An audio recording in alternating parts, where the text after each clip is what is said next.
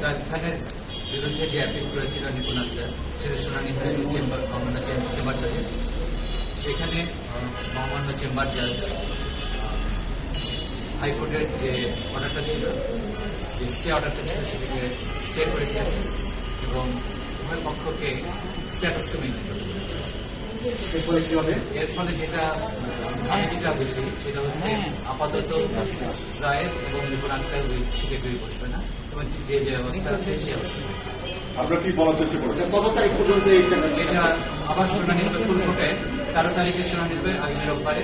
সেই তারিখে সম্পূর্ণভাবে জানা যাবে আসলে এই বিষয়ে আগামী ধারণা তবে ওনারা কি বলার চেষ্টা করেছেন হাইকোর্টের আদেশের হাইকোর্টে ওরা না, আমার প্রতিপক্ষ যেটা বলার চেষ্টা করেছেন সেটা হচ্ছে যে এই রিটটা মেনটেনেবেল না, এই কারণে মেনটেনেবেল মেনটেনেবেল না, ওনারা বলছেন যে আমরা আসছি একটা প্রাইভেট বডির এগেনস্টে আর এর প্রযুক্তরে আমাদের যে আর্গুমেন্ট সেটা হচ্ছে না, আমরা এসছি একটা স্ট্যাটিক সমাজ কল্যাণ সেবা অধিদপ্তরের একটা আদেশের বিরুদ্ধে এবং যে আদেশের ভিত্তির উপর কাজ করে পরবর্তীকালে পাঁচ তারিখে তথাকথিত অ্যাপিল বোর্ড দুজনের অ্যাপিল বোর্ড একটা অ্যাপিল করে অ্যাপিলের আদেশের মাধ্যমে জায়েদকে সরিয়ে দিয়েছে এবং বিপুল আক্তারকে নির্বাচন নির্বাচিত ঘোষণা করেছে।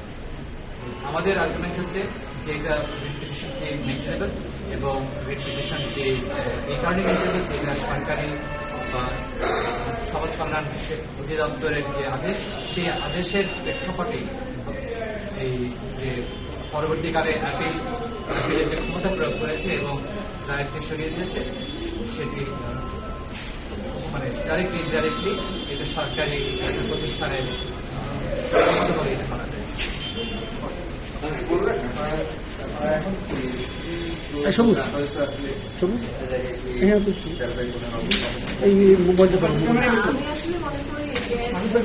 এই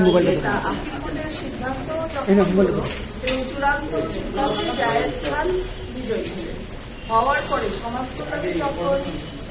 ইয়ে গেল। সমাজ কল্যাণ যখন এটা ওই অ্যাপিলেট বোর্ড থেকে আমার চিঠি দিল ওই পার্টটুকু অবৈধ একটা বোর্ড দুই নম্বর, সমাজ কল্যাণ ওই চিঠির বলে সমাজ কল্যাণ একটা অর্ডার দিল যে আপনারা এটা বসে সিদ্ধান্ত নিয়ে আমাদেরকে জানান। এবং সেই জানানোর ভিত্তিতে এই যে অবৈধ যে পন্থাতে নিপুণকে বসিয়ে দেওয়া হলো চেয়ারে সেটা, সেই পন্থাটি খুব অবৈধ কারণ সমাজ কল্যাণ যদি চিঠিটা না দিত, তাহলে পরবর্তী অবৈধ পন্থাটুকু হতো না।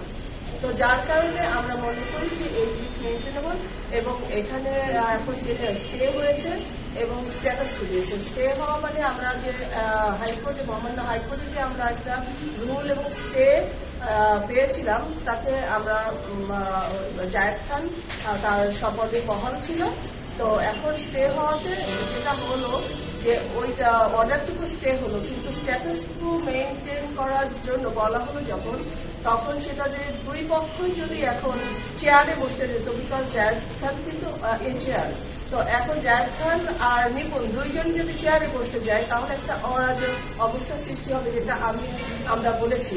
তো এই সৃষ্টি হওয়ার জন্যই এটা স্ট্যাটাস টু মেনটেন করতে বলা হলো। কারণ স্ট্যাটাস টু মেনটেন করতে বলা হলো মানে চেয়ারটা ওভাবেই থাকবে আর তেরো তারিখ পর্যন্ত। তেরো তারিখে যখন হিয়ারিং হবে, তখন নির্ধারিত হবে আসলে এই এই মামলাটার কি অবস্থা দাঁড়ায়। এইটাই হলো আমরা বলতে চেয়েছি।